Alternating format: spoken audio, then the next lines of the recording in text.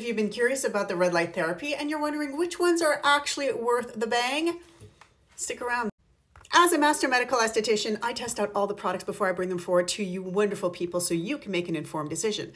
Also, not every single red light therapy is actually a good bang for your buck. So I'm going to feature three of my absolute favorites uh, that will be in other videos. But today I'm going to be explaining why you might really want to consider red light therapy and which ones are awesome and which ones are, as another creator would say, à la poubelle.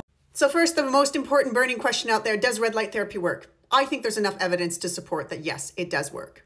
I can also say from my own personal experience, when I do put these into my skincare routine and when I take them out, my skin does revert back to its old self, if you will. Mm.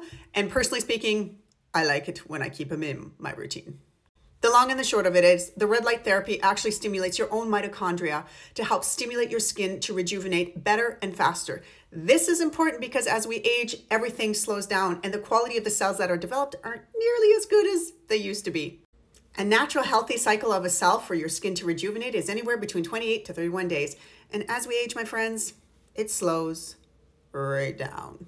This is why your wrinkles get worse. This is why hyperpigmentation seems to take forever to come out through your skin. There's a lot of issues, and that's why the beauty industry is trying to find ways to help stimulate that. And red light therapy, in my humble opinion, definitely. So for the red light therapy to actually penetrate deep enough into the skin to evoke some change, you need to make sure that first of all, there's enough lights that are available and that it actually is long enough, the wavelength is long enough. You want to make sure that your red light therapy has a nanometer reading somewhere between 630 and up for really good penetration. Red light therapy works best when it is directly on the skin. However, these panels are a little bit stronger. This one typically goes uh, to 660 nanometers, so you'll definitely get that penetration. And it also has some other features in here, which I will explain in another video. But these are effective as well. Again, you want to sit nice and close to it. Handheld devices, unfortunately, are not sitting on your skin long enough in one area for it to actually invoke any change. So for me, those are definitely a la poubelle, in the garbage.